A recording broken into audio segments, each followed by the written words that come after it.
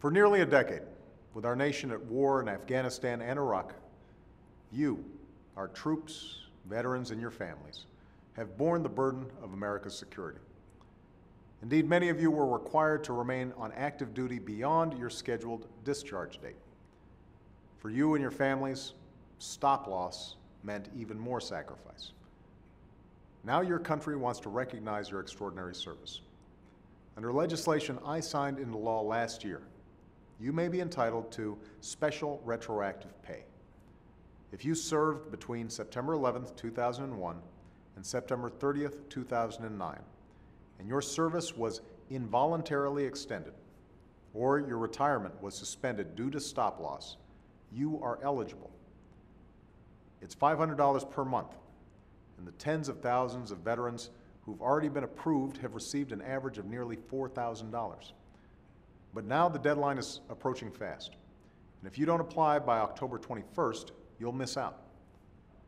I know there's been some confusion and skepticism out there.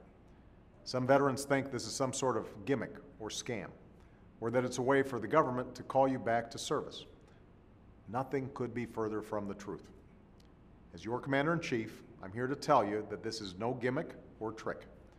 You worked hard, you earned this money. It doesn't matter whether you were active or reserve, whether you're a veteran who experienced stop loss or the survivor of a service member who did. If your service was extended, you are eligible. You served with honor.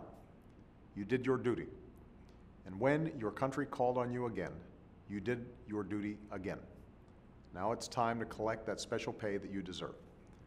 To learn more or to submit your application, just go to www.defense.gov